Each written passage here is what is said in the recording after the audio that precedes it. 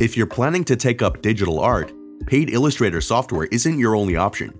Here are 5 of the best free Windows drawing apps that we recommend.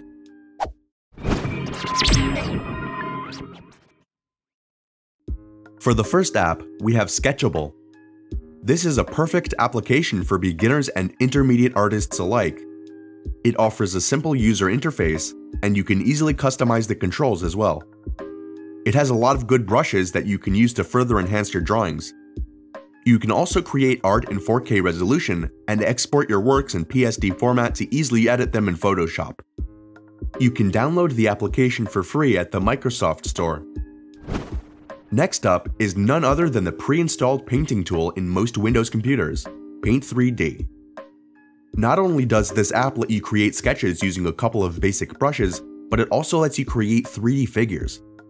If you want to test out your new drawing tablet, then Microsoft 3D is the perfect application to choose. If it isn't installed on your computer yet, you can download it for free on the Microsoft Store. For our third recommendation, we have Mischief. It has a simple and straightforward interface that you'll surely feel comfortable working on even if you're a beginner. They feature an infinite canvas, custom color swatches, different backgrounds, and a pretty good selection of brushes. You can download Mischief from the direct download link in the description down below. Next, we have GIMP.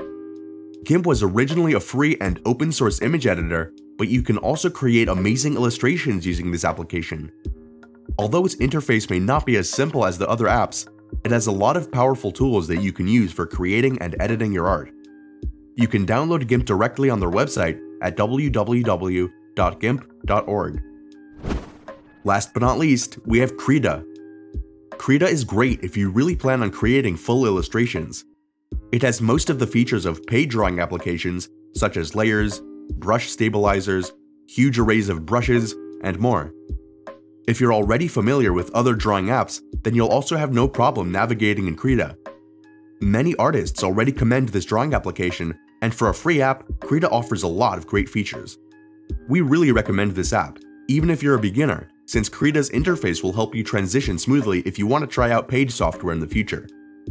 You can download it for free at their website, krita.org, or click the direct link in the description down below. Thanks for watching. Make sure to click like and subscribe to watch more guides about all sorts of technology. Also, check out these other videos that we think you'll find helpful.